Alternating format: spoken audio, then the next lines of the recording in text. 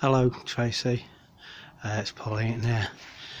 Uh, just responding to your uh, daughter's request that I send a video message for you.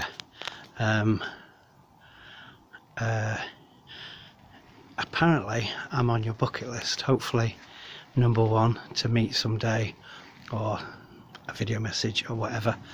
Um, and I gather you're really very poorly um, and I'm very sorry to hear that. But I hope this message brightens you up in some way.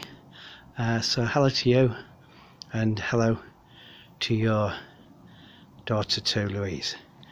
I'm just going to show you this is my back garden. It's like a backyard, really.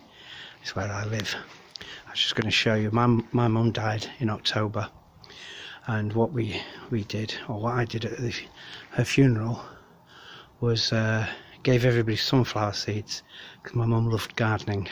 As you can see I like a bit of it as well. Yeah. um, and I thought it was a lovely way to remember. By um, and look.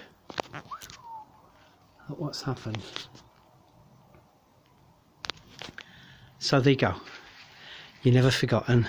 People always think great things of great people after they've gone and obviously when they're here so I hope you uh, get this message and it cheers you up. All the best from Paul. Bye bye.